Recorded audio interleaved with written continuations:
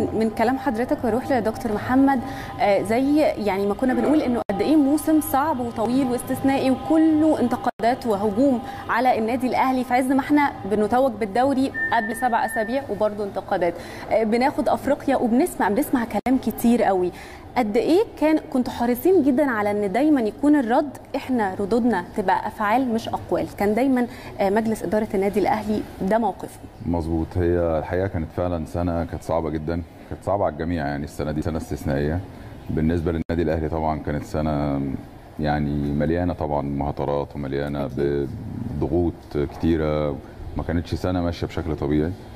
لكن الحمد لله يعني هو كل مجتهد نصيب والحمد لله إن إحنا كنا يعني مركزين دايما في الهدف إحنا نشتغل. هو كان دايما الكابتن محمود يقول لنا يعني يا جماعة لو في كلام بيتقال بره في مهاترات في خلافه أنتوا ردكم دايما بالشغل.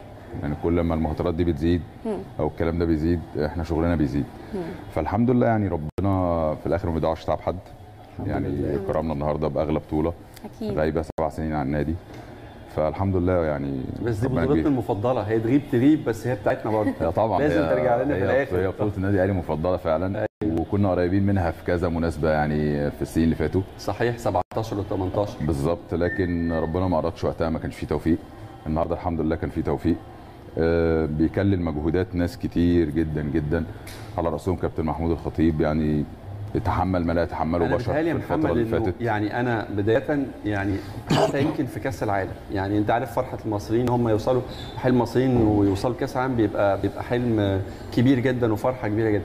بس أنا ما شفتش في شوارع مصر آه، فرحة زي اللي شفتها النهارده في احتفالات جماهير النادي الأهلي بالكاس أو بالبطولة من زمان قوي يعني بقالي كتير قوي ما شفتش الناس في الشوارع والناس حالة الفرحة وحالة ال- الانطلاق دي آه، بقالها كنت كتير قوي لسه بقول أستاذ طارق أنا جاي من الاستاد يعني في ساعتين إحنا جايين في ساعتين شفنا يعني ملحمة من السعادة ومن الاحتفالات ودي كانت بالنسبة لي يعني كانت يعني أحلى حاجة في السنة إن أنا آه.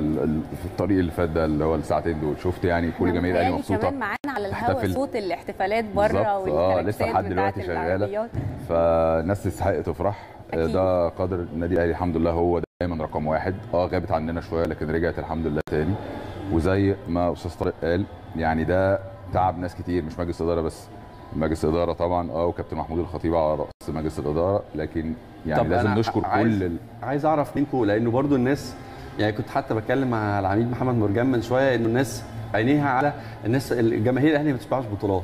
يعني إحنا عندنا بطولتين مهمين جدا آه، لسه كأس مصر يمكن إن شاء الله لو ربنا كرمنا وصلنا ال final يوم خمسة وعندنا سوبر أفريقيا يوم 10 وبعدين ع- عندنا بعد كده كأس عالم. هل بنتكلم على إنه المجلس